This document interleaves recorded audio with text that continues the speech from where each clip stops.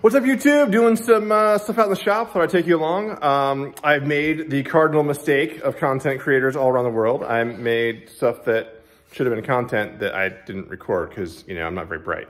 So anyway, oh my gosh, I've got dirt all over my nose. Anyway, whatever. Um, so I've got this little project going on that uh, I've been part of, but I remembered, hey, maybe somebody out there is really bored in their life and would like to see a little bit of this. So um, the, the, the, challenge is I've got a bunch of crap. Um, I bet you can relate. So one second.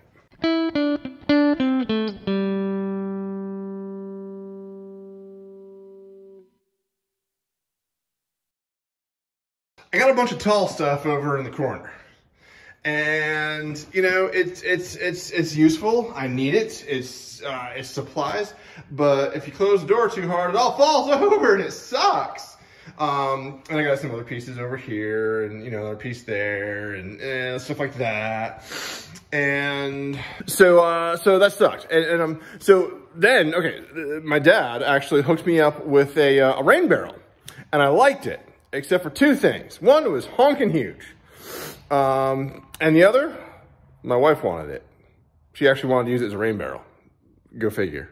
Um, so she sold my project, whatever. I'm not bitter. I'm not, I'm not that bitter. Um, but uh, to, to make it up to me, she actually did some research and found some interesting storage solutions. And uh, what, what she found was a four drawer file cabinet. I'll find the picture somewhere. And um, it was you know painted and put on the side, drawers taken out, and uh, you put the stuff in it. Uh, that's great, except for I don't want to take up that much room. So the idea was, hey, let's get a two drawer file cabinet. So check it out. Here's the two drawer file cabinet. And uh, you can see I've already done some work to it. Um, so the idea is, uh, it was, okay, so this direction, like sticking stuff in this way, if we laid it on its back, it wouldn't be tall enough for what I had in mind. And so that's no good. Um, you know, shorter than that, I can stick it on a shelf and I'll be fine.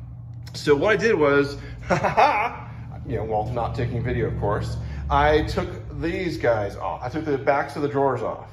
And um, how I did that was basically take a chisel, yes, a wood chisel, uh, to the, uh, the spot welds.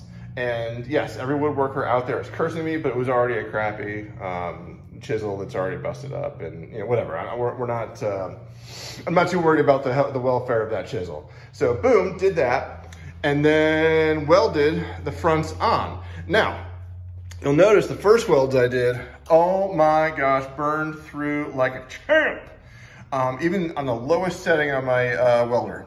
So what I found is, uh, hey, if you stitch um, up both sides, because there's a little bit of a gap here, so you've got to stitch um, each side. So I should have taken video, but I can I, I can um, um, replicate it here. You go zzz, zzz, zzz, zzz, zzz. You just keep on doing that and um, it makes it so that, you know, not too much heat gets in there and doesn't burn through. Uh, so of course I learned that by the last weld. Um, that would have been handier much earlier on. Number one rule of shop organization, put it on casters. Everything should be mobile, everything. There is no exception to this. Rule. Okay, there's probably exceptions, but anyway. Um, so, so I've already cut out the, uh, the wood. And um, the wood is the same shape as the bottom of the, uh, the cabinet, unsurprisingly. Here we go. Um, so I have cut this Mamma Jammer out. And because I am a hoarding maniac, uh, it turned out that I had a set of casters. Oh, look at this, in this beautiful clear container. Isn't that just lovely? So, uh, and I've even got screws for it because I hoarded those too. Yay, hoarding! Um, so I'm going to pre-drill uh, this guy, install these guys, and we'll have a base. All right, so tip number one of this whole thing is hoard. Hoard everything, no, not everything. Um, so, okay, so I, I, struggle with hoarding because um, I like having stuff, I, I, hate throwing away stuff because as soon as you throw it away, you realize you, you could have used it um, and variable. You can hold on to something for 10 years and you know how the story ends. Um, year 10, you get rid of it. Well, 10 years in one day is when you realize, oh, I can use it for this. Um, but anyway, uh, the great thing is, um, we got this horrible cabinet online um, and it had, uh, you know, through one of the sale groups and it had these casters on it. And I'm like, you know, one day these casters are gonna come in handy. So there, there needs to be balance in hoarding, but um, it's, it's, it's these cases when it works out that, that makes you really want to hoard everything. But anyway, um, hoard according to your limits and, and all that stuff. So this is gonna be crazy simple. Basically, you need to uh, pre-drill some holes, uh, screw these member jammers in, and go from there.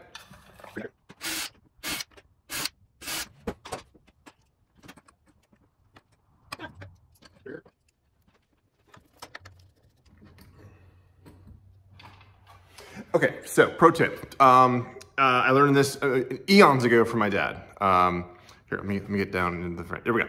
So um, when you're screwing things together, uh, fastening things together with multiple fasteners, you leave those screws slash fasteners uh, snug but not tight until they're all in. Uh, remember that. Pretty much anything you do. Um, whether it's putting casters on or uh, putting some big complicated what, whatever together.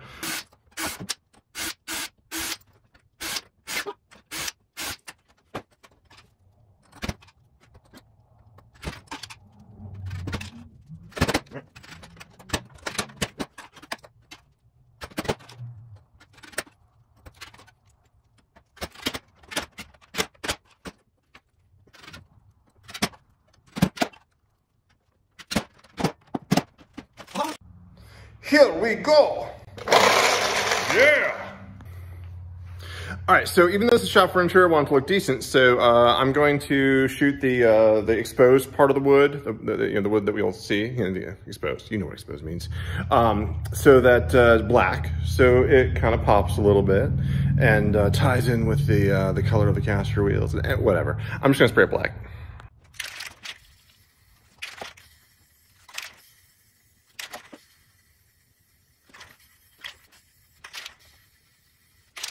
All right, so I thought about screwing this thing, um, okay, hold on, take a step back. I wanted to, to attach the bottom wood thing uh, to the bottom of the filing cabinet. I had first thought about screwing through the bottom of the cabinet and uh, into the wood, but I have a dearth of short screws.